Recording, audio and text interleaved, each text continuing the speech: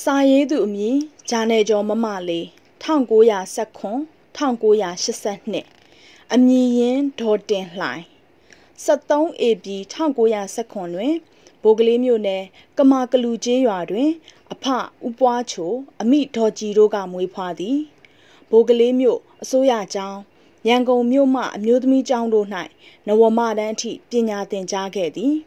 မြမအလင်းသတင်းစာတွင် စောင်းမများစတင်ရေးသားသည် 1938ခုနှစ်တွင်မြမအလင်းသတင်းစာအယ်ဒီတာချုပ်ဦးချစ်မောင်နှင့်လက်ထပ်သည်1939ခုနှစ်တွင်ဂျာနယ်ကျော်ကို ထုတ်ဝေသူဖြင့်စတင်တာဝန်ယူထုတ်ဝေသည် အမျိုးသမီးကလောင်ရှင်အသင်းဒုတိယဥက္ကဋ္ဌ1940ခုမြန်မာနိုင်ငံစာရေးဆရာစာပေကလပ်အတွင်ရေးမှူး1961-62အဖြစ်ဆောင်ရွက်ခဲ့သည် မုံရွေမဟူ1955ဖြစ် 1955စာပေဗိမှန်ဝတ္ထုရှေစုတွေးတစိမ့်စိမ့်1963ဖြင့်1963ခုနှစ်အနုပညာစာပေဝတ္ထုတော်ပေါင်းချုပ်တတိယဆုကိုရရှိခဲ့သည်ယင်းနှစ်အောင်မှွေ1969သူမ1945သွေး1983မာလာယီ1989 သူလိုသူ1940ခွန်တို့မှထင်ရှားသည်6ရက်ဧပြီ1982တွင်ရန်ကုန်မြို့၌ကွယ်လွန်သည်တန်တရာဘေးနေဝန်းသည်တဖြည်းဖြည်းမြင့်လာသည်ရွှေရောင်ကြီးဖြော့ဖြော့တို့သည်လမ်းပေါ်၌ဖြာကျလျက်ရှိ၏မြစ်ပြင်မှဖြတ်တန်းလာသောလေမှာနှွေး၍တတုံတုံတညင်းညင်းတိုက်ခတ်လျက်ရှိနေသည်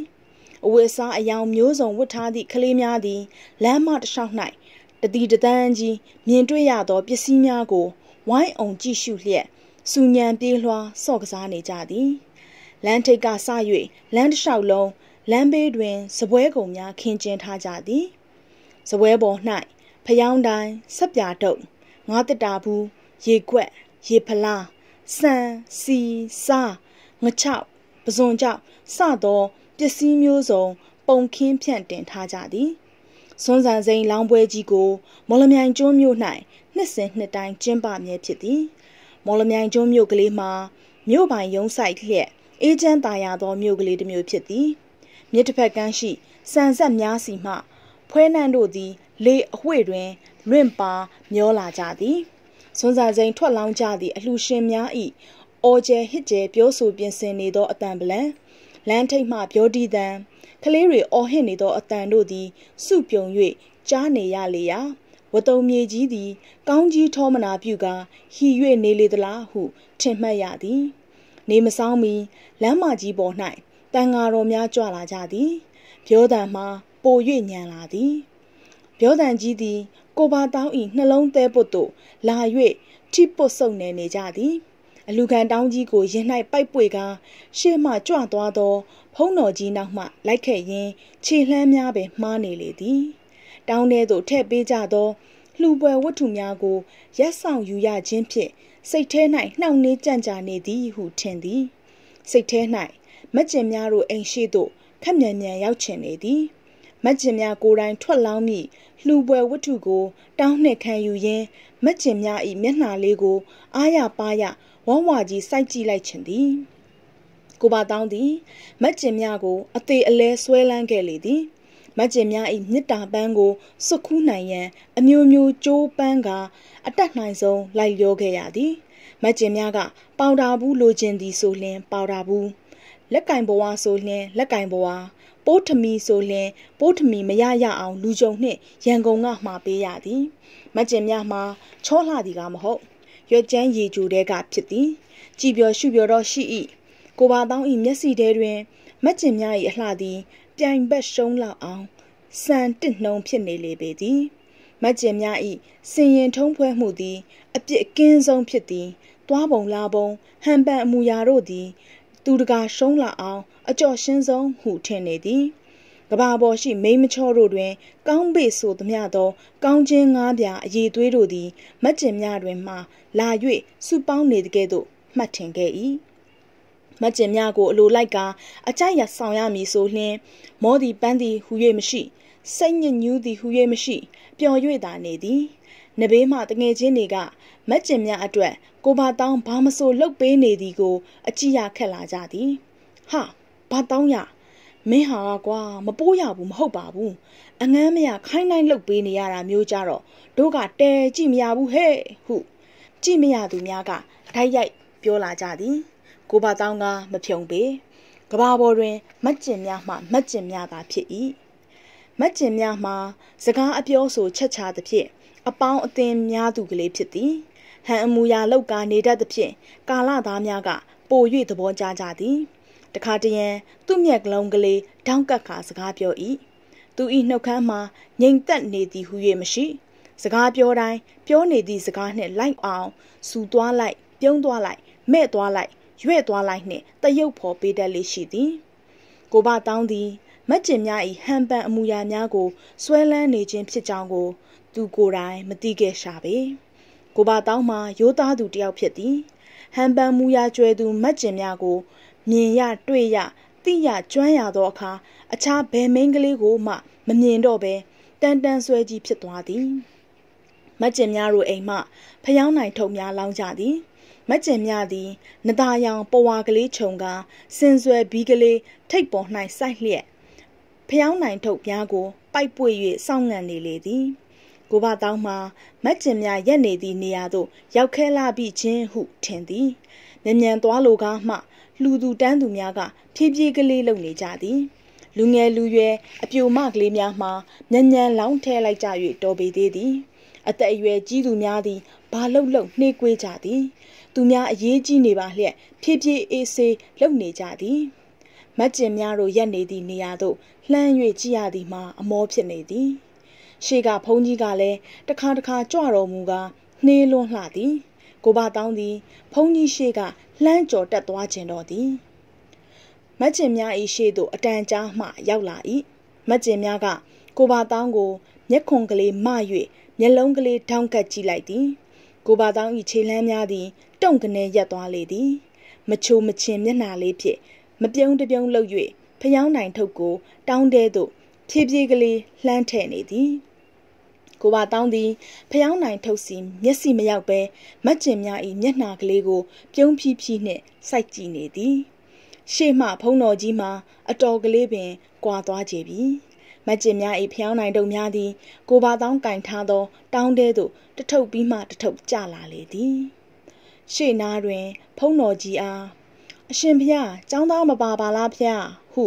တကားတူးကလှူခြင်းစောဖြင့်မေးလိုက်၍ နောက်သို့လှဲ့အကြည့်တွင်ဖျောင်းနိုင်ကန်းနေသောနေရာမှကိုဘတောင်းထွက်မလာသေးသည်ကိုတွေ့ရသဖြင့်ဖုံးတော်ကြီးမှရက်ဆောင်နေရလေသည်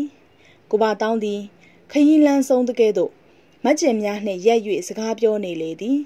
စကားပြောနေရင်ဘုန်းကြီးရက်ဆောင်နေသည်ကိုမြင်သွားသည်ဘုန်းကြီးဟာညံကျင်ပြန်လဲသူ့အပြင်မရှိဘူးဟုစိတ်ထဲ၌ရေရွတ်မိသည် မတ်ကျင်များဖျောင်းနိုင်ကန်းနေသောနေရာမှခြေလှမ်းလှမ်း၍သာထွက်လာခဲ့ရသည်စိတ်ကမူတဲမပါလှတော့ကြလက်နှစ်ဖက်ပြပွေလာရသောတောင်းကြီးမှာတိတ်လေးလာသည်ဖြည်းဖြည်းပဲရှောက်လိုက်လာ၏ဖုံတော်ကြီးမှာရှေ့မှတုတ်တုတ်တုတ်တုတ်နှင့်သွားနေစေပင်အလူခံကိစ္စပြီးသည့်နောက်စာရေးတံမဲဖောက်သည့်နေရာသို့သွားကြရသည်ဖုံတော်ကြီးသည်ပိုးဧကတိမဲပေါက်သဖြင့်မိမိ၌ပေးသောမဲကြောင့်ကန်လိုက်ပြီး ပောက်သွားသည်ဟုတထစ်ချတွက်လိုက်သည်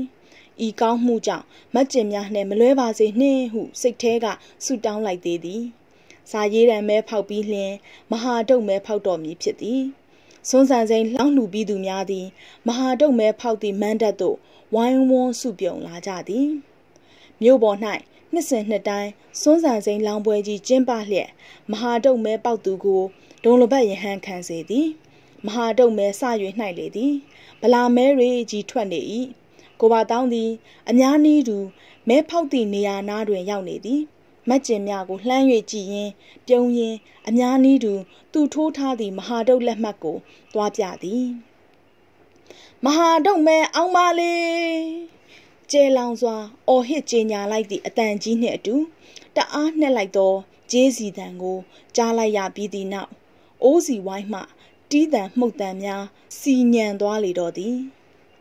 ကိုဘတောင်းမဟာတုတ်ပေါက်၍ဒုံလပတ်ယဟန်ခန်းသည့်ပွဲသို့လူပွဲတန်းပွဲများဖြင့်မတ်ကျင်များရောက်ရှိလာလေသည်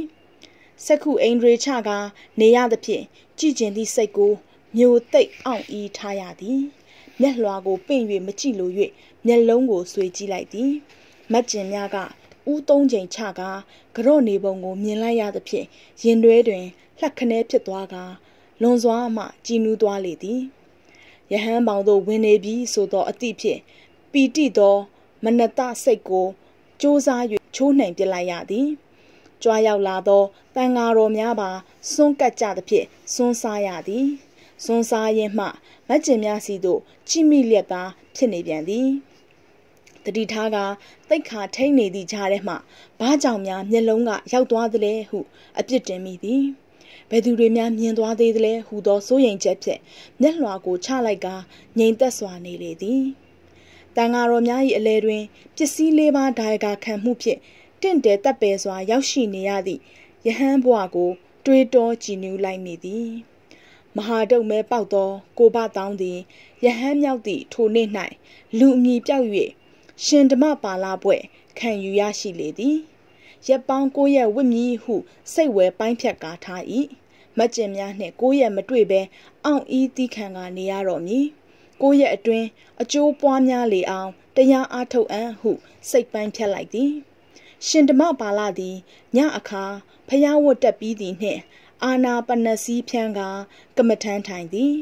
နေပိုင်းတွင်950နိဘတ်တော်များကိုဖတ်ကာတရေတမောကျိန်ဆက်သည် အချိန်ရသည်၍အဋိဌံဖြင့်စိတ်ပရိစိတ်ကယဟန်ပေါင်တို့တွတ်သွင်းချီးမြှင့်ပေးလိုက်သောတကားတကားမများကို အာယုံပြု၍မြစ်တာပို့လေသည်ညနေဘက်တွင်ကိဋ္ဌိယပုဒ္ဒအောင်ဇင်းညံလျှောက်သည်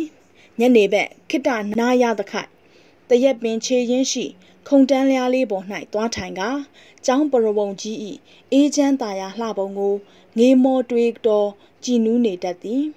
ကျောင်းပရဝုံကြီးမှာတောရကျောင်းကြီးကဲ့သို့တစ်ပင်ကြီးများပိတ်စည်းထူထပ်နေသည်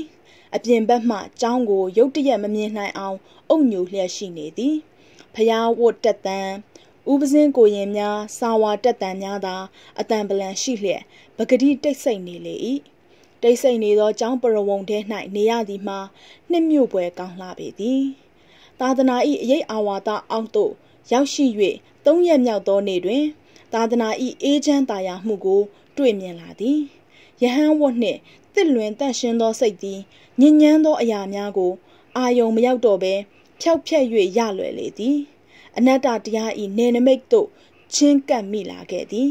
မိမိကိုယ်ကိုမိမိမပိုင်ကံသာလျင်အမိကံသာလျင်အဖကမ္မတတိဝိပစီတိကံကံစီမံရာကိုသာခံကြရမည် တရက်ပင်ခြေရင်း၌ပတိထိုင်စိတ်ရင်းကံကံဤအကြောင်းတရားအကျိုးတရားတို့ကိုစင်ကျင်သုံးသပ်နေစေ၌ညနေတိုင်းဘိလက်ရေးလာကတ်သောအရှင်ဓမ္မပါဠိဤညီကလေးရောက်လာလေသည်စိတ်နေသောပတိကိုရုပ်ကာဘဲဘက်လက်ကဝတ်၌ခွေပတ်ဝတ်လိုက်သည်ဘိလက်ရေကိုဖုံးပေးနေစေလူဘဝ၌လူဘဝနှင့်အဆက်ပြတ်နေပုံကို တွေးကြည့်ပြန်သည်တကမကြီးကနေကောင်းရဲ့လားကွ နေကောင်းပါတယ်ဖေညီဖြစ်သူကခေါင်းငုံ၍ဖြေသည်မင်းကနေကောင်းရဲ့လားနေကောင်းပါတယ်ဖေမင်းကြည့်ရတာတခုခုဖြစ်နေတယ်လို့ပဲတကမာကြီးနေလို့ထိုင်လို့မှကောင်းရဲ့လားကောင်းပါတယ်ဗျာညီတော်မောင်သည် ပြန်ပြောပြီးတွေဝေလျက်ငိုင်းနေပြန်၏လက္ခဏာရေးသုံးပါးကိုဆင်ခြင်ပြီးစိတ်ရဲ့ချမ်းသာမှုကိုရှာကြံဖို့ဒကမာကြီးကိုပြန်ပြောလိုက်ကြားလား မင်းကလည်းခါတိုင်းလိုလဲပတ်မနေပဲငါမရှိကြအိမ်မာနေကွမိဘဆုံးမတာကိုမြေဝဲမကြနားထောင်တဲ့သူဟာတသက်မစင်းရဲဘူးတဲ့ဒါဖះဟော950နိဘတ်တော်ထဲမှာနေမင်းကြည့်ရတာဘာများစိတ်ချမ်းမသာဖြစ်နေလို့လဲဟင်ရှင်ဓမ္မပါဠိဤညီတော်မောင်သည် ပြောနေသောစကားများကိုကြားပုံမရတွေဝေငေးငိုင်၍သာနေလေသည် ပြောရကောင်းနိုးနိုးမပြောရကောင်းနိုးနိုးဟန်အမူအရာတို့ဖြင့်စဉ်းစားနေမှအကိုကြီးအေးလေအရှင်ဖျားမေမေကတော့ဘာမှမပြောရဘူးလို့မှားလိုက်တယ်ဟုစကားစားလိုက်သည်။အော်ကွာနေမကောင်းရင်လည်းမကောင်းမှုပေါ့။ဒါပြောတာများဒီလောက်တောင်စဉ်းစားနေရသလား။ရှင်ဓမ္မပါဠသည်ညီတော်မောင်၏အခက်ကို ရှင်းလင်းပေးလိုသောဆန္ဒဖြင့်ပြောလေ၏ ယဟန်ဘဝတွင်စိတ်ဤတည်ငြိမ်မှုရှိပြီးသားဖြစ်နေသဖြင့်ပြောသာပြောဟူသောအားပေးတဲ့ကဲ့သို့ရှိလေသည်ညီတော်မောင်သည်တတွေးကိုမျိုးချပြီးမှတုံးတိတိပြောချလိုက်သည်မေမေကတော့နေကောင်းပါရဲ့ဖေ။ဟိုဟိုမက်ကျင်မြညကလင်းနောက်လိုက်ပြေးလို့ဖေ။ရှင်ဓမ္မပါလာသည်မျက်လုံးကိုပြူးကြည့်လိုက်သည်။ဟေးဟုတလုံးတည်းသောအာမေတိတ်ကိုပြု၏။ ပုထုဇဉ်ပြီးပြီးယခုတွင် အောက်မေ့ဆင်ကျင်လျက်ရှိသော အနတ္တတရားသည် ကိုနှစ်ကွာသွားလေတော့သည်။မက်ကျင်မြလင်းနောက်လိုက်ပြေးသောတွင်ကြားရပြီးသည့်နောက်ရှင်ဓမ္မပါဠမှာတရားမှန်မှန်မကျင့်နိုင်တော့ကြတရားထိုင်လျင်မက်ကျင်များ၏မျက်နှာကိုသာမြင်မြင်လာသည်မက်ကျင်များ၏တရံသည် ဖြောက်ဖြက်၍မရနိုင်အောင်ရှိနေသည် မက်ကျင်များဤယူပါယုံကို တွေးတောစဉ်းစားရသည်မှာအမောင်တုထဲမှအလင်းရောင်ကြီးပြူထွက်လာသည်ပင်ဖြစ်တော်သည်လင်းနောက်လိုက်သွားကြောင်းပြန်သတိထားမိသည့်အခါ၌မှောင်အတိပြန်ကျသွားကသစ္စာမရှိတဲ့မိမဟု စိတ်ထဲကရေရွတ်၍ဒေါသဖြစ်သွားသည်တရားနှင့်ပြန်ထင်းကဥပိ္ပခာပုကြည့်သည်ဥပိ္ပခာပြု၍လည်းမရနိုင်အသေးနှလုံးသည်ဟာလာဟင်းလင်းဖြစ်က ရှိကလွမ်းသလိုလိုဆွေးသလိုလိုနှင့်ရင်နာမိလေသည်ရင်နာ၍ဆွေးစပြိုးလာပြီဆိုလျှင်ရှင်ဓမ္မပါလာသည်စိတ်ကိုအတက်နိုင်ဆုံးချုပ်တီးကမျက်လုံးများမှိတ်ထားလိုက်သည်ရှင်ဓမ္မပါလာဤမိခင်ကြီးသည်တားငယ်ကမက်ကျင်များဤသတင်းကိုပြောလိုက်ပြီးဟုသိရသည်လျှင်သိရသည်ချင်းစိတ်ဆိုးမှန်ဆိုးနှင့်မြည်တွန်တောက်တီးသည်မှာခုနှစ်အိမ်ကြားရှစ်အိမ်ကြားဖြစ်တော်သည်။ သားဥပစင်အတွက်လည်းစိတ်မကောင်းဖြစ်မိ၏။သားရှိရာအကြောင်းသို့မသွားတော့ဘဲလူဝတ်လဲမိနေမှသာသွားတော့မည်ဟုတွက်ထားလိုက်သည်။ကိုရက်ပြေးမြောက်လေ၏။ရှင်ဓမ္မပါလာသည်သင်ငန်းချွတ်ရန်အခက်ဝတ်ရန်အခက်ပြဿနာပေါ်နေလေသည်။စိတ်မကောင်းသည်ကတစ်ဖက်တငယ်ချင်းတွေကဝိုင်းလောင်ကြမည်ကတမှောက်ဖြစ်၏လမ်းသွားလမ်းလာမက်ကျင်များကို နေတိုင်းတွေ့ဆုံနေရလျင်စိတ်မချမ်းမသာဖြစ်နေရအောင်မည်ဒီကနေ့တော့ ဘယ်နည်းနဲ့မှလူဖို့မလဲသင်္ကန်းမချအဖြစ်ပြက်တွေပြန်လဲအေးဆေးသွားမှလူဖို့လဲတော့မည်ဟု စိတ်ကိုတုံတုံချပိုင်းထက်လိုက်သည်ထိုနေ့တစ်နေ့လုံးစိတ်ကိုတည်ငြိမ်အောင် ထိန်းထားရသည်မက်ကျင်များစီသို့စိတ်ရောက်သွားတိုင်းနာကျင်ခံခက်အောင်နှိပ်စက်သောကြောင့်ဆင်းရဲသောဒုက္ခပါတကားဟုစင်ကျင်အောင်မေ့လိုက်လျက်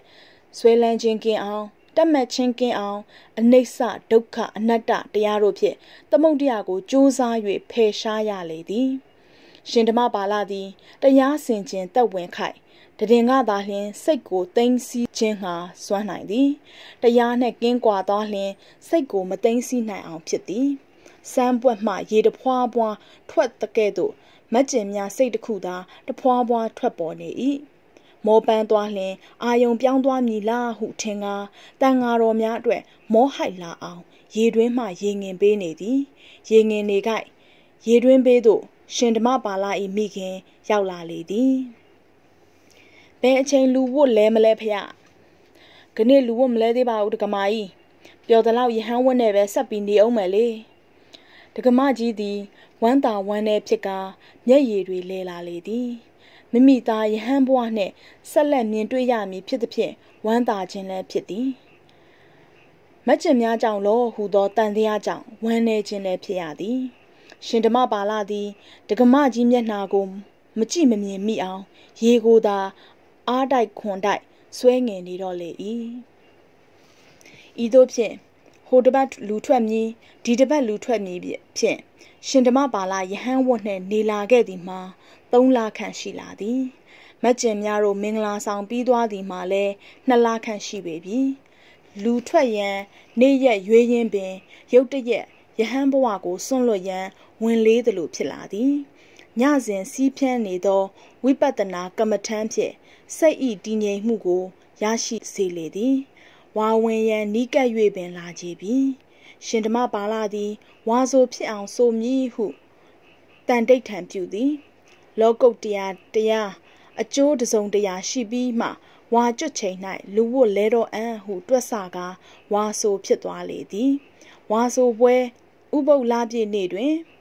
ဆွေမျိုးမိတ်တင်ကားများစုံစုံညီညီကျောင်းသို့ရောက်လာကြသည် ကျောင်းဒါရိကာကြီးစံဆက်တထေဥတာဝဆိုလျင်ရှင်ဓမ္မပါလယဟန်ဝတ်နှင့်ပျော်မွေ့သလောက်ပစ္စည်းလေးပါးတကားခံထားသည်ယခုနှင့်ဝါဆိုပွဲကြီးတွင် ရှင်ဓမ္မပါလဝါဆိုသည့်အတွက်ကျောင်းတကာကြီးဥတာဝမှာဝမ်းမြောက်ဝမ်းသာဂုံယူ၍နေပေသည်မဟာဒုတ်မဲပေါက်ပြီးဝါဆိုတော့မြယဟန်ဒါယကအဖြစ်ဝင့်ကြွားနေသည် ရှင်ဓမ္မပါဠိဤတိတ်ခါတမာတိကျင့်စဉ်တို့ကို ကြည်ညိုသည်ကမ္မထမ်းထိုင်ခြင်းကို အထူးနှစ်ချိုက်လေသည် ရှင်ဓမ္မပါဠိကအာနာပါနကမ္မထမ်းစီဖြန်းရင်ဟောပြောလမ်းပြသည့်အခါ၌ပစစ်ဒူးတုတ်လျက်တယိုတသေးနာယူမှတ်သား၍နေတတ်၏အလုံးစုံသောဝင်တွေထက်လေရဲ့အစလေအဆုံးသုံးပါးစလုံးကို ရှေးဥစွာညံနဲ့တိအောင်ထင်ရှားအောင်ပြပြီးမှဝင်လေထက်လေတို့ကို ရှူရှိုက်ရမယ်တကားကြီး ဝင်လေရဲ့အစကတော့နှုတ်သီးဖြားအလေလောက်မှာရင်ကြိုက်ရောက်တယ်အဆုံးကတော့ချက်မှဆုံးတယ်ထွက်လေရဲ့အစကချက်အလေကရင်ကြိုက်အဆုံးဟာနှာသီးပြားဆိုတာသိရမယ်အားထုတ်တဲ့အခါမှာစလေဆုံးသိနေအောင်တတိရောညံရော ရှိမှဖြစ်တယ်တကားကြီးအင်မတန်တရားအားထုတ်တဲ့ဥပဇင်ဟုဥပုပ်စရက်သို့လာသမျှလူတိုင်းကိုငြိမ်ရီရှက်ရီပြောပြတတ်သည် လူကြီးပိုင်းကရှင်ဓမ္မပါဠိပါရမီကို အနုမောဒနာပြုကြသည်လူငယ်ပိုင်းကမူကိုပါတောင်းတော့လူကိုပြန်မထွက်တော့ဘူးပြို့ကျုပ်တို့ဝမ်းနောက်မှာလန့်နေသလိုလားမသိဘူးဟု ပြောသူကပြောကြသည်ဟာသူ့စိတ်မှာတကယ်ထိကြိုက်မိပြီးတန်ဝေကရသွားသလားမှမသိပဲဗျကျုံနဲ့ဆိုရင်တက်တူရွယ်တူပဲအသက်30လောက်တော့ရှိပြီဒါမျိုးဟာယဟန်ဝတ်နဲ့အသက်ထက်ဆုံးမြဲခြင်းလဲမြဲတတ်တာမျိုးဗျဟု မှတ်ချက်ချသူကချကြသည်ရှင်ဓမ္မပါဠသည် မဟာဒုတ်မဲပေါက်တုံးကလိုမဟုတ်တော့ဘဲစိတ်ကိုတီတီငိမ့်ငိမ့်ထားကကြောင်းတိုက်ရှိတန်ဃာတော်များနှင့်အတူစုဝေးလျက်ပါဝင်လေသည်အိန္ဒြေမဆောင်နိုင်ပဲဟိုကြည့်ဒီကြည့်လှုပ်ခဲ့ဘူးသည့်အခြေအနေမှတည်ငြိမ်လှစွာသော ထောကြီးဝါကြီးကဲ့သို့ကြင့်ကြံကဝီနီးတိတ်ခါပုတ်တို့ကိုစောင့်စည်းလေသည်တဝါတွင်လုံးစာဝါတက်က လောကုတ်တရားစာပေကိုသင်အပ်ကြက်မှတ်နေသည်အလွန်ညံကောင်းလှသဖြင့်ညံထူးချွန်ချောင်းကိုကျောင်းထိုင်ဆရာတော်ကြီးကပင် အများရှိတွင်ချီးမွမ်းရလေသည်တဖြည်းဖြည်းဝါကျွတ်ချိန်နီးလာတော့လဲလူဝတ်လဲရန်စိတ်တွင်မပေါက်တော့ဘဲဆက်၍ယဟန်ဝတ်နေလေသည်ထိုနှစ်၌ပင်နှစ်ချင်းပေါက်ပထမငယ်တန်းကို ဖြည့်ဆို့အောင်မြင်တော်မူသည် ရှင်ဓမ္မပါဠိဤစိတ်၌လောကီစိတ်သည်ခန်းချောက်သည်ထက်ခန်းချောက်လာသည်စိတ်ငြိမ်သောကျောင်းပရုံကြီးကအထူးသဖြင့်စိတ်ကိုတည်ငြိမ်စေသည်ချမ်းမြေ့ကြည်နူးစေသည်နာကြီးဆွေးမြေ့ပဲဘဝအနိဋ္ဌာယုံဖြစ်ပြီးသောအတိတ်တို့ကိုမေ့ပြောက်လာစေသည်ကမ္မထံတရားအားထုတ်ဖန်များလာသဖြင့်လဲစင်ကျင်ဉဏ်သည်ရင့်ကျက်လာသည်ဟုထင်ရသည်မှန်ဉဏ်သည်လည်းထက်သန်လာသည် ထွက်သက်ဝင်သက်ကိုတတိထားသည်မှတပါအခြားအခြားသောအစင်းယူပါယုံအတန်တရားယုံစသည်တို့ကို စိတ်မရောက်စိတ်မလွင့်စေဘဲတမာရီသည်ဒုတဲ့ကြီးလျက်ခိုင်မာလာပြီဟုပင် မှတ်ထင်တော်မူပါလေသည်ကျောင်းထိုင်ဆရာတော်ကြီးသည်ပညာဉာဏ်ပရိဉာဏ်ထက်သန်လှသော ရှင်ဓမ္မပါဠကို အထူးတလဲစာပေပို့ချသင်ကြားပေးရင်းဖြင့်သာအချိန်ကုန်လွန်လေသည် တစ်နှစ်ထက်တစ်နှစ်ပညာတိုးပွားစီပင်လာသောကြောင့်တစ်နှစ်ပြီးတစ်နှစ်ပထမလက်ပထမကြီးတန်းတို့ကိုဆက်လက်အောင်မြင်သွားကာ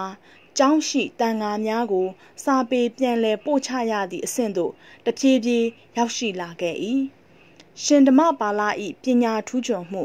တိလတမာတိပြည့်စုံမှုတို့ကြောင့်ဥပဇေဆရာတော်ကြီးသည်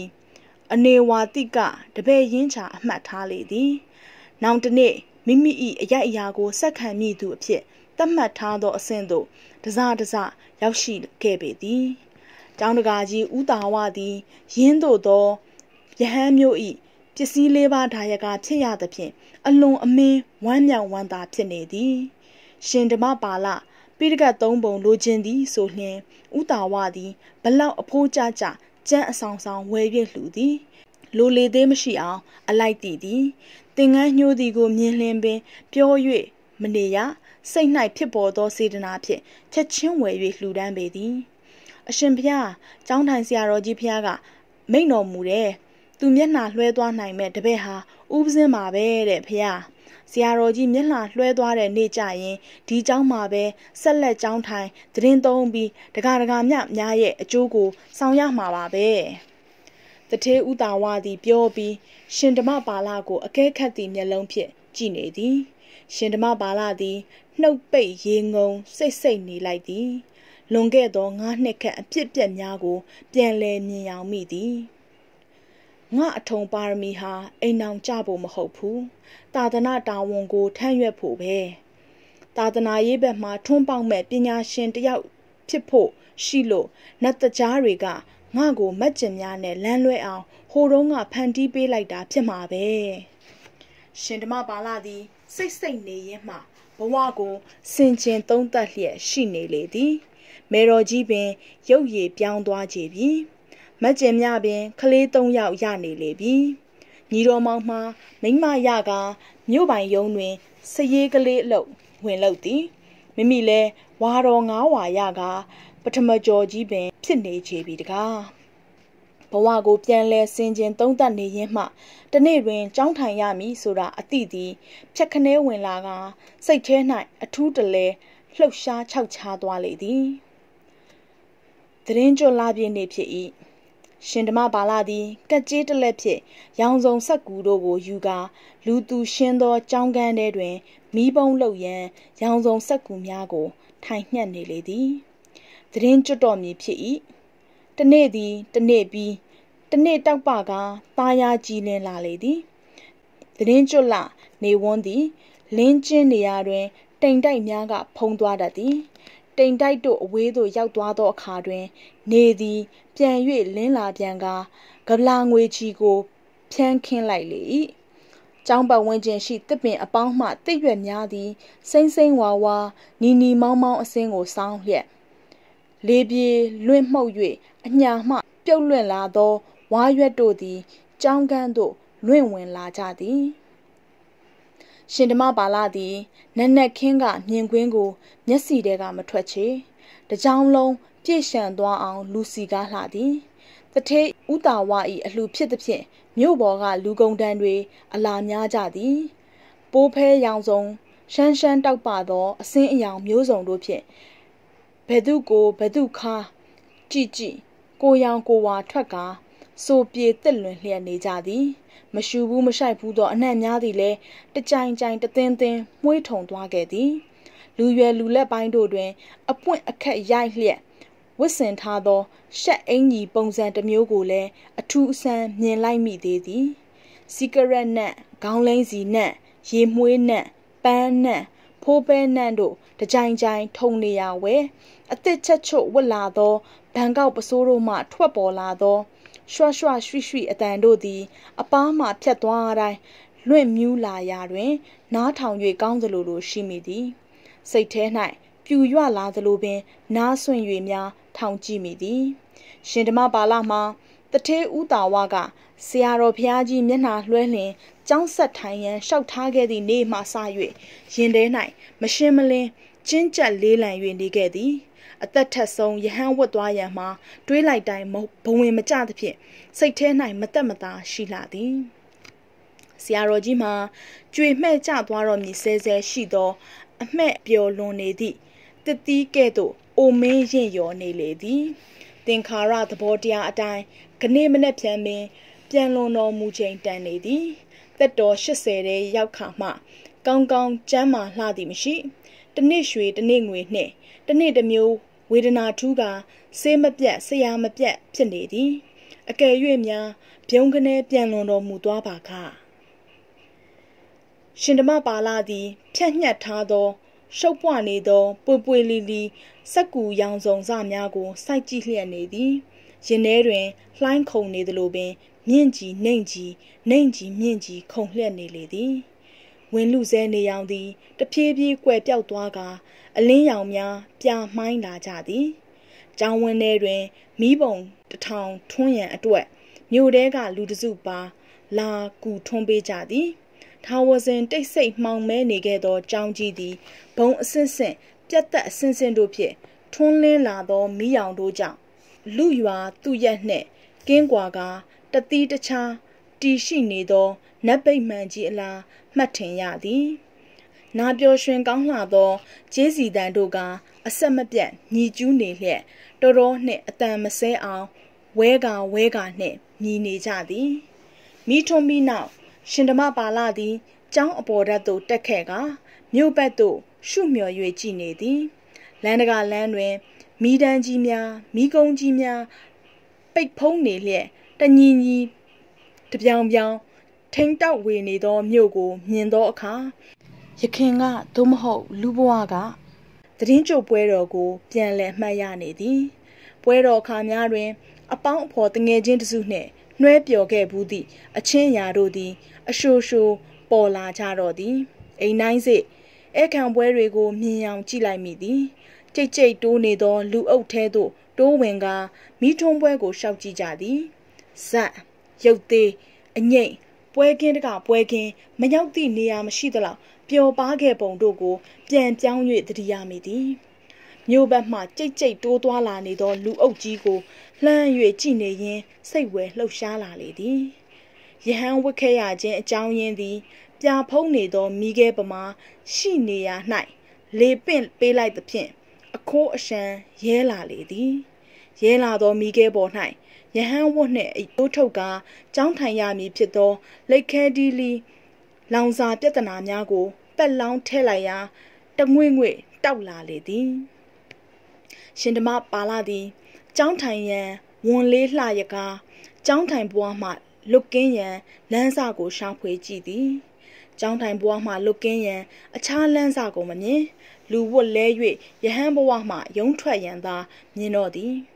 ဆရာတော်ကြီးမျက်နှာမလွှဲခင်ယခုကပင်ကြိုတင်း၍လူဝတ်လဲမှသာလျှင်လွတ်မြောက်နိုင်ချိန်မီလမ်းစာပေါ်သည်အမှန်စင်စစ်လူဘဝကိုဆက်ဆုပ်သဖြင့်ယဟန်ဘဝကိုရောက်ခဲ့ခြင်းမဟုတ်ချေယဟန်ဘဝထက်တော့လူဘဝကဆိုပြေလေသည်ကျောင်းပရဝုံအတွင်း၌စိတ်ငြိမ်ခြင်းတော့မှန်၏တနေကုန်တနေထွက်အပြောင်းလဲဘာမှမရှိကြ လူဝတ်ကြောင်များအလှတန်းပေးမိရက်ကိုမျှော်နေရသည်ဥပုပ်သတင်းနေကြီးများနေကြီးရက်ကြီးများကိုစောင့်ရသည် ရှင်ဓမ္မပါဠသည် လူဘဝကို စိတ်မကုံချောင်းယခုမှပို၍ကိုကိုကိုပြတ်သားစွာသိမြင်လာသည်ပရင်းပေါက်တွင်လက်ထောက်၍ရက်နေရာမှခေါင်းကိုငုံချလိုက်သည် လူဝတ်လဲရလျင်ဟူသောအတွေးတို့သည်တမျက်နှာလုံးဖြန်းကနေနီမြန်းသွားလေသည်ကရုံးပြောင်ပြောင်နှင့်စပုတ်ရှက်ဝတ်က အယောင်တရှက်ရှက်ထွက်နေသောဘန်ကောက်ပစိုးဝတ်ထားသည့်ဖုံးကြီးလူတွေဤပုံပန်းကိုကွက်ခနဲမြင်မိလေသည်လူဘဝပြန်လဲရောက်ရန်ရှက်ရွံ့နေသဖြင့်တသက်လုံးယဟန်ဘဝနှင့်အယိုးထုတ်နိုင်သလားဟု ကိုကိုကိုစမ်းစစ်ကြည့်ပြန်သည် ရှင်ဓမ္မပါဠိဤခေါင်းသည်ခါရန်လျက်နေပြန်လေသည်မြို့စွန်ရှိဇက်စင်မှဆိုင်းတန်တဲတဲကြားရသည်ငုံထားသောခေါင်းကိုမော့လျက် ဇက်စင်ထိုးထားသည့်လေကွင်းဘက်သို့လေပင်ကိုဆန့်ငါကြည့်လိုက်သည်ဇက်ခုံပေါ်၌ရိမ့်ထွက်ကနေသောတရံများကို ပြက်ပြကလေးမြင်ရသည်တညင်းညင်းတတုံတုံရိုက်နေသောလေသည်တာယာချိုအေးသော တေးတံတို့ကိုတည်ယူပို့ဆောင်လာကြသည် ရှင်ဓမ္မပါဠိညှိုးနွမ်းနေသောမျက်နှာသည်ပြုံးကနေချိုသာပြန်လျက်မျက်လုံးများပင် တောက်ပလာလေသည်ချိုအေးသောလေချိုမြသောတေးတံ ချိုသာသောဆိုင်းတန်တို့သည် ပင်ပန်းနှမ်းလျက်နေသော စိတ်ကိုတက်တာရသလိုလိုရှိမိသည်လေကွင်းထဲရှိဇက်ခုံပေါ်တွင်တငိမ့်ငိမ့်လှုံရမ်းလျက်ရှိသောတဒံအားလုံးတို့သည် စီးကျက်ညီညာစွာလှုပ်ရှားလျက်နေကြလေ၏စိတ်သက်သာရာရသည့်အခက်တန့်ချက်တီးလှသည့်220ခုနှစ်သွဲသောတိတ်ခါပုတ်တို့ကိုကိုနှင့်တခဏခွာ၍ချကြည့်လိုက်သည် ရှင်ဓမ္မဘာလာဤစိတ်သည် ပို၍ပေါ့ပါသွားလေသည် စိတ်သာလျင်ပေါ့ပါသည်သာမကပဒင်းပေါက်မှခွာသွားလေသောခြေလှမ်းတို့သည်လှင်မြန်ပေါ့ပါစွာလှမ်းလျှောက်သွားကလှင်မြန်ပေါ့ပါစွာပဒင်းပေါက်သို့ပြန်ရောက်လာလေသည်ပြုံးကနေပခုံးပေါ်တွင်တင်ထားသောဧကတိရှောကျသွားလေ၏ဧကတိကိုဆွဲယူပင့်တင်လိုက်သည့်အခါယဟန်းစိတ်ပြန်ဝင်လာသည်ပင့်တင်လိုက်သောဧကတိစသည် ပခုံးထက်ကလေးကျသွားတဲ့ကဲ့သို့ထင်မှတ်ရသည် မျက်နှာမှာချက်ချင်းဖြူဘက်ဖြူရောဖြစ်လာသည် ထို့နောက်မှုံမှုံကြီးစိုက်ငေးနေရင်မှတဖန်တစတစကြည်ရွှင်၍လာပြန်သည်ယရင်ထဲ၌လေးလံကျဉ်ကျက်လျက်မအီမသာဖြစ်နေသည့်ဘဝတွင် နေရသည်ထက်စားလျင်ဘဝဟောင်းကို ပြန်ပြောင်းတရိယသည်ကပင် စိတ်မှကြည်လင်လန်းဆန်းရပေသေး၏လူဘဝကိုဘာတောင်းဘဝကို ထိုနေ့ည၌တညလုံးပင်မကျိမ့်ဆက်နိုင်ပဲပြန်လဲစဉ်းစားသည်လူထွက်တာအပြစ်မရှိပါဘူးဟုအားပေးသည်တသက်လုံးယဟန်ဝတ်နှင့်အယိုးထုတ်ပါမယ်လို့ဝတ်ခဲ့တာမှမဟုတ်ပဲဟုစင်ကျင်လဲကြည့်သည်ကရုံးပြောင်ပြောင်ဆိုရင်လဲခဏပေါ့ဟုအာတင်သည်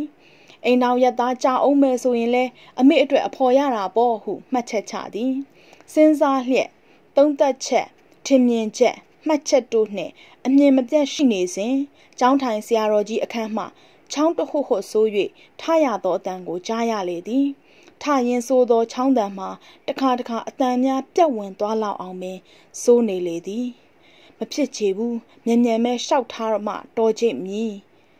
ချောင်းတန်ကိုနားဆိုင်ထောင်ရင်းစိတ်ထဲ၌ရေရွတ်နေလေသည်ချောင်းတန်ဆဲသွားလျင် ရှင်ဓမ္မပါလာသည် လေကိုရှိုက်သွင်းလျက် ရှေလားစွာပြန်၍မှုတ်ထုတ်လိုက်ပြီးနောက်မျက်လုံးများကိုမှိတ်လိုက်ရာ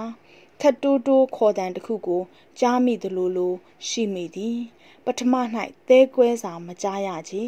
နောက်မှသဲကွဲလာကမိမိကိုခေါ်နေမှန်းသိရသည်ဟဲ့ဘသူတော့တပည့်တော်ပါကျောင်းတကာကြီးဥတာဝအိမ်က ဖိုးတာပါဖះခုလေးတင်ပဲကျောင်းတကာကြီးလေဖြတ်ပြီးဆုံးသွားပြီဖះရှင်ဓမ္မပါလာသည် ငေါက်ခနဲထထိုင်လျက်မျက်လုံးပိကလက်ပိကလက်လောက်ကဖိုးတာကိုလှမ်းကြည့်ရင်ဘာပြောရမှန်းမသိအောင်လဲချောင်း၌တစ်ဆို့ပြီးနေသည်ဖိုးတာသည်သပင်ကြိုးကျဲပေါက်နေသော သူ့ခေါင်းကိုကုတ်လိုက်ကာတဘိုတဘာထွက်ဖို့ထတာအိမ်သာမရောက်ခင်ပဲလမ်းမှာလဲကြတာမျက်လုံးတောင်ပြန်မလဲတော့ပါဘူးဖျားဟုအတန်အဲအဲနှင့်ဆက်လျှောက်လေသည်ဖြစ်မှဖြစ်ရလေဖိုးတာဝရအတန်ကို အနိုင်နိုင်ထွက်အောင်စ조사၍ပြောလိုက်ရ၏ရုတ်တရက်ကြီးဖြစ်၍ရင်ထဲတွင် မချိတင်ကဲဖြစ်သွားသည်လူထွက်တော့ရန်စဉ်းစားထားပြီးဖြစ်သောကြောင့်မချိတင်ကဲဖြစ်သွားသောရင်သည် ပြေလည်၍သွားပေသည်ယဟန်ဝတ်နှင့်အယိုးထုတ်အံ့ဟုအကယ်၍များပိုင်းဖြတ်ထားခဲ့လျင်ရင်အတော်နာရမည်ဥတာဝသေဆုံးခြင်းသည်မိမိအားအထူးပတ်သက်ထိခိုက်သွားစေတော့သည် လူထွက်သွားတာများတိသွားလျင်မိမျှစိတ်မချမ်းမသာဖြစ်ရှာမည်ကို တွေးမိပြန်သည်ဥတာဝဤကျေးဇူးတရားတို့ကိုစင်ကျင်အောင်မေ့မိသည်ဘာများအမိတ်ရှိအောင်မလဲဥပဇင်တပည့်တော်သွားရအောင်မယ်ဖျဖိုးတာသည်မျက်နာပြက်ပြက်နှင့် တွေ့ဝေငေးငိုင်သွားသော ရှင်ဓမ္မပါဠကိုမျက်ခုံးကြီးပင့်၍ကြည့်လိုက်ပြီးမှ လေတံဖြင့်ခတ်တိုးတိုးလျှောက်သည်တပည့်တော်သွားအောင်မဖျအေးအေး အာယုံတက်ရင်ဆရာတော်ကြီးကိုရှောက်လိုက်မယ်ကောင်းကင်တခွင်တွင်အလင်းရောင်သည် ပြုတ်အန်စားပြူလာလေပြီအေးမြသောအာယုံဥလေသည် ရှင်ဓမ္မပါဠမျက်နှာပေါ်သို့ဆွတ်၍တိုက်ခတ်လာသည်အာယုံဥလေသည်စောင်းသက်လေကိုကြိုဆို၍လာလေသည်ဆွတ်၍တိုက်ခတ်လာသောအေးမြသည့်လေကိုရှူရှိုက်ရင်းတစောင်မုံကထိန်ပွဲပြီးမှဆရာတော်ကြီးကိုရှောက်ပါတော့မယ်လေဟုစိတ်ဝဲပိုင်းဖြတ်လိုက်လေသည် ကျောင်းထိုင်ဆရာတော်ကြီးဤကိုစားရှင်ဓမ္မပါဠသည် အဖော်တန်ငါများနှင့်အတူဇရက်ထိတ်ကော်စောပေါ်၌ထောက်ဝက်ဖွဲ့ခြေတိုင်လိုက်လေသည်ရက်ကိုရှေ့၌ချလျက်သင်္ကန်းယုံတွင်လက်ထိုးသွင်း၍ပခုံးသို့မြင့်ပေးပြီးနောက်မျက်လွှာချထားလိုက်သည်တုတ်တန်စရာကြီးတဲ့၌ထိုင်စရာနေရာမကျန်အောင် လူတွေပြည့်ကျက်နေလေသည်မျက်နှာကြီးမသာဖြစ်၍တမြို့လုံးလိုက်ပို့ကြသည် တချို့မှာ နေစရာမရှိ၍နောက်မှမတ်တက်ရက်နေကြသည်ရှင်ဓမ္မပါဠနေရာယူထိုင်လိုက်သောအခါလူစုလူဝေးကြီး၏ရုပ်ရုပ်ရုပ်ရုပ်ဖြစ်နေသောအတန်ကြီးသည်မိကိုရေနှင့်တက်လိုက်သလိုပြုံးကနေတိတ်ဆိတ်သွားလေ၏နေသည်ကျဲကျဲတောက်နေ၏တုတ်တန်တစပြင်မှဖြတ်တိုက်လာသောလေနှင့်တရွက်များအတန်မြည်နေကြသည်ကို အာလုံးအတိုင်းသာကြားနေရသည် ရှင်ဓမ္မပါဠသည် ဥတာဝဤအတုပ၌တရဏဂုံတင်ပြီးဟောရမည်တရားသည်ယဟန်ဘဝနှင့်နောက်ဆုံးဟောရမည်တရားပါတကားဟုစင်ကျင်အောင်မေ့နေမိသည်ဖိုးတာသည်မတ်တက်ထရက်လျက်ကဲတီလာယူကြရအောင်ဟုကျဲလောင်စွာအော်ဟစ်အချက်ပေးလိုက်သည်မျက်လွှာကိုမ၍ပရိသတ်ကိုတစ်ချက်ကြည့်ပြီးမှမျက်လွှာပြန်ချကားချောင်းတစ်ချက်ဟန်လေသည် အနိစ္စတရားထင်၍အတုပရှုကြရန်မိန့်ကြားတိုက်တွန်းလိုက်ပြီးနောက်ငါးပါးသီလကိုချပေးနေလေသည်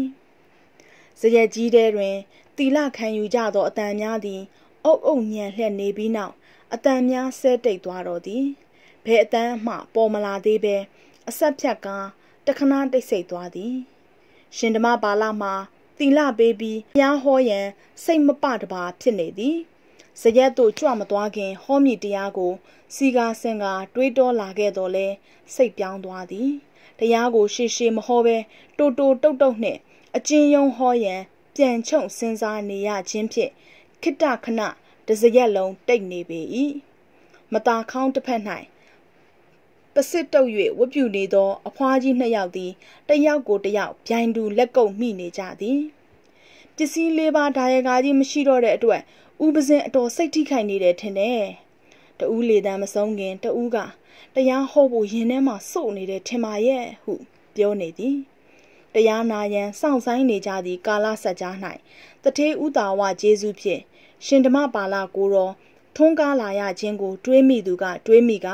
ကျေးဇူးတင်ဝမ်းမြောက်ခြင်းဖြစ်ရသည်ရှင်ဓမ္မပါဠသည် လိုရင်းချုံ၍ခတ်တူတူပင်တရားဟောလိုက်လေ၏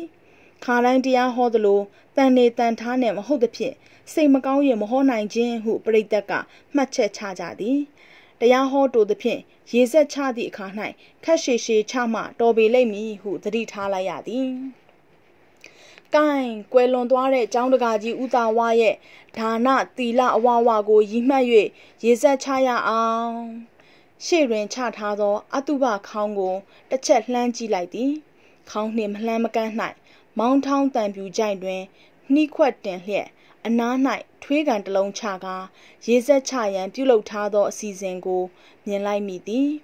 ရေစက်ချရန်ချောင်းကိုနှစ်ချက်ဆင့်၍အဟန့်လိုက်တွင်မိသူတယောက်တဦးတယောက်မှမမျှော်လင့်ကြသောကိစ္စတစ်ခုသည်ဗျုံကနေတိုင်းကနေပေါ်ပေါက်လာလေ၏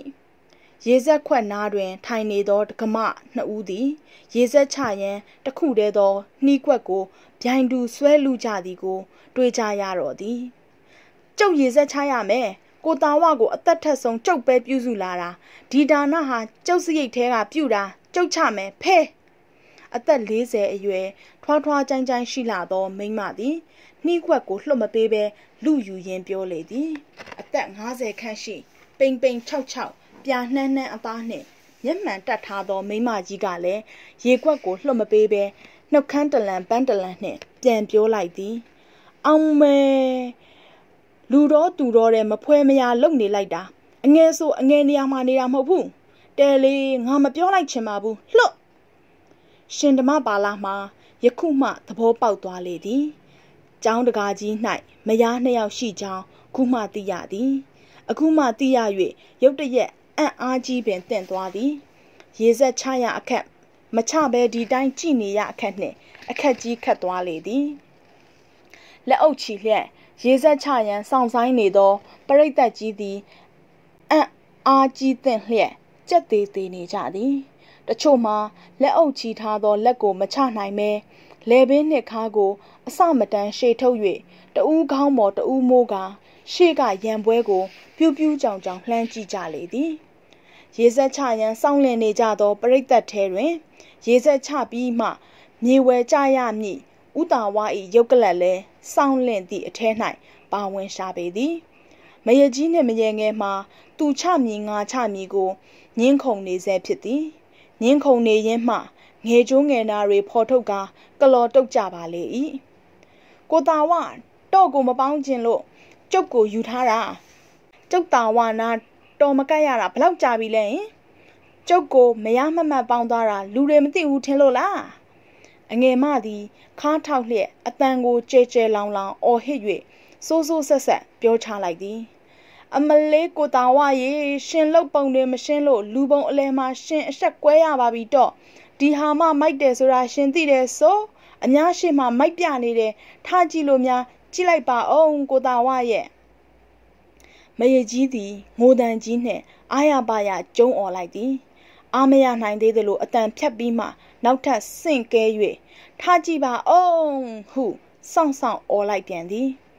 သူ့အတန်းမှာငကိုတန်မဟုတ်တော့ပဲငယ်တန်ပါအောင်ညှစ်အစ်ပြီးအော်ပြစ်လိုက်သည်ရှင်ဓမ္မပါလာသည် တထိုင်တည်းရှက်သွေးဖြာကမျက်နာတစ်ပြင်လုံးหนีရဲလာလေ၏ ဂျားဝင်ပြီးဖြန်ဖြေလိုက်ရန်စိတ်ကူးတော့ရ၏ဂျားဝင်ပြောရန်ပြော၍မထွက်မျက်နာပူလှသည်ပရိသတ်ကြီးရှိ၌ကိုယိုကာယာဖြစ်နေသောအဖြစ်မှာအကြီးတန်းလှသည်ရေစက်လည်းမချရသည်မျက်နာကိုဘယ်နာသွားထရမှန်းမသိအောင်ပူထူ၍သာနေတော်မူသည်အေးကိုတာဝရဲ့ရှင်ဓမ္မပါလာဤနားထဲတွင် ရှေ့ဆက်ပြီးဘာပြောရမှန်းမသိအောင်ရှန်ထွက်သွားသည်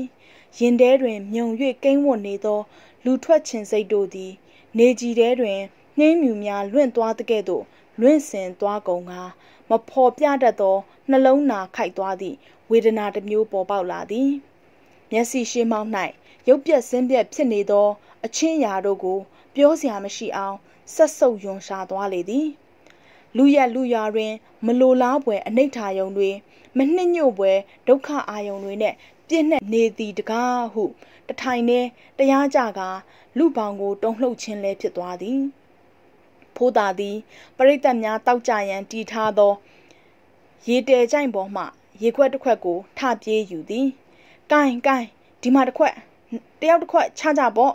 ။အံ့အားသင့်ကငြိမ်နေသောပရိသတ်သည်ပွားစီပွားစီနှင့်ညံလာသည်။ဖိုးသာသည်ကြပြကြရပင်ပရိသတ်ဘက်သို့လှည့်၍ကဲရေဆက်ချမယ်ဗျို့ဟုပရိသတ်ကိုထိန်းလိုက်လေသည်။ ဥတာဝါဤမယားနှစ်ယောက်သည်တရှုံရှုံငိုရင်းရေတစ်ခွက်စီကင်ထားကြသည်။ထွားထွားကြိုင်းကြိုင်းကိုလုံးကိုယ်တည်းရှိသောအငယ်မမှာဒေါသမပြေနိုင်သေးတဲ့ကဲ့သို့အသားတွေတဆက်ဆက်တုံနေသေးသည်မူလကရေစက်ကိုရှေရှေချရန်ရီမှန်းထားတော်လဲရှင်ဓမ္မပါလာသည်တူတူပဲချလိုက်၏ရေစက်ချနေတော့လိုက်ဆိုနေကြသောအတန်နှစ်တန်ကိုဗျိုင်တူကြားရပုံမှာနားထဲ၌နှင်းလှ၏ရင်တိုင်း၌လည်းပူပြင်းနေသည် ရေစက်ချပေးနေသောအတန်သည်အတန်ပြက်ပြက်နှင့်အတန်ပြက်၍ပင်နေသည်ဥပစင်း၏မျက်နှာနီမြန်းကအတန်ပြက်နေသဖြင့်ပရိသတ်ကြီးမှာမိမနှစ်ယောက်ကိုကြိတ်၍ဒေါပွနေကြသည် အမျှအမျှကိုတာဝရေမယားနှစ်ယောက်၏အတန်နှစ်တန်ကိုတပြိုင်တည်းကြားရသော ရှင်ဓမ္မပါလာသည်မျက်လုံးများပြနှမ်းလျက်ပါးရီနားရီပူထူသွားလေတော့သည်လူသူပရိသတ်ရှေးမှောက်မှ ဖဲခွာခြင်းစိတ်ပြင်းပြသည့်အတိုင်းပရိသတ်ဤတာရုခေါ်တံကိုပင် အဆုံးတိုင်အောင်မဆောင်ဆိုင်နိုင်တော့ဘဲနေရာမှထပြန်ခဲ့သည်။ကျောင်းသို့ပြန်ရောက်တော့လဲနေစရာမရှိအောင်ဖြစ်နေလေသည်။ရင်ထဲတွင်မနှစ်ပြို့နိုင်ပွဲသောအကြီးအကျယ်စိတ်ပြက်နေလျက်ကိစ္စများမြောင်လူတို့ပေါင်း၌ဆိုသောလင်္ကာကိုထပ်တလဲလဲသာကြားနာ၍နေလေသည်။ လူပေါင်းကိုဆက်ဆုပ်ယွန်ရှာသွားသောအသေးနှလုံးမှာဒဏ်ချက်ပြင်းထန်သွားသဖြင့်ဖူးဖူးရောင်ရောင်တကဲ့သို့ပင်တဆစ်စစ်နာကျင်ခြင်းဖြစ်လာသည်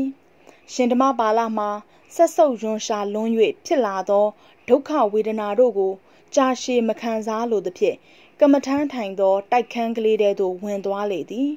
တိုက်ခန်းကလေးမှာမှောင်မဲ၍နေသည်မှောင်တဲ၌တမင်ခွေလျက်အထက်ပိုင်းကိုကို ဖြောင်ဖြောင်မတ်မတ်ထား၍ထိုင်လိုက်သည် ကိုကိုသိမ့်စီထားက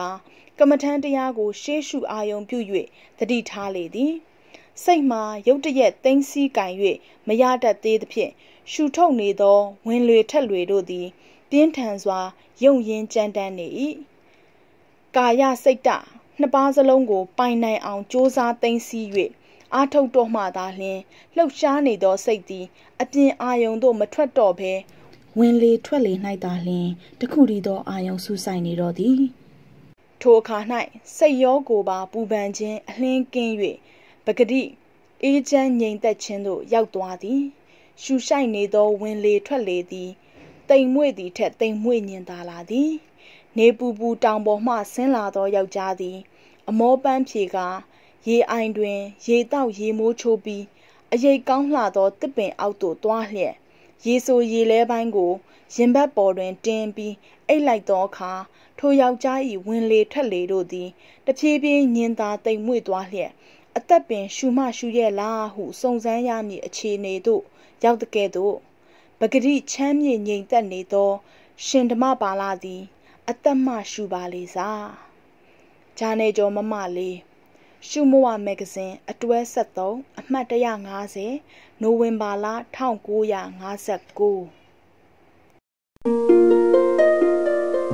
1959